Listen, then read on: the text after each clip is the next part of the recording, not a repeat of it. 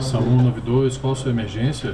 Assim começa o atendimento na central do Serviço de Atendimento Móvel de Urgência em Brasília. Do outro lado da linha, alguém precisa de ajuda. A ligação é atendida por técnicos que identificam a emergência. Se necessário, o paciente é transferido para um médico que avalia a gravidade da situação e inicia um atendimento. O médico orienta o paciente ou a pessoa que fez a chamada e aciona uma ambulância para atendimento.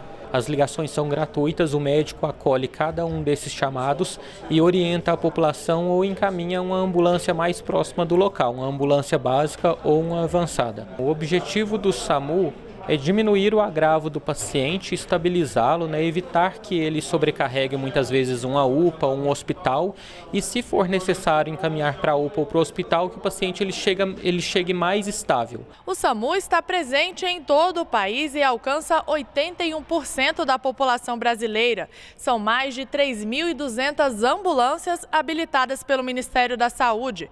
O serviço conta também com motos, aeromédicos e até lanchas. Tudo para garantir a rapidez no atendimento de mais de 168 milhões de brasileiros. E o governo federal quer ampliar e qualificar o atendimento do SAMU em 155 municípios do país. Para isso, liberou mais 33 milhões de reais. Esses recursos serão destinados a 241 serviços, entre eles 148 ambulâncias, oito motolâncias, dois aeromédicos, uma ambulância e sete centrais de regulação. Desses serviços, 57 ainda não recebiam recursos federais, o que sobrecarrega estados e municípios.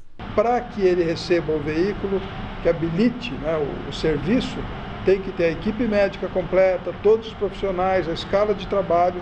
É isso que nós estamos fazendo. Da hora que o município comprova que ele está prestando o serviço nas condições que nós estabelecemos, nós passamos a financiar o serviço com 50%, como em tudo no SUS, a responsabilidade da União é de 50% de financiamento. A partir de agora, esses municípios podem contar com o apoio do governo federal para oferecer atendimento de qualidade à população. Que é uma, é uma UTI, se a pessoa está aqui ou está lá no hospital, os recursos são os mesmos. Então a gente antecipa, na verdade, a colocação do paciente num ambiente de total condição de, de qualidade de atendimento, de, de perspectiva de salvar a vida do paciente.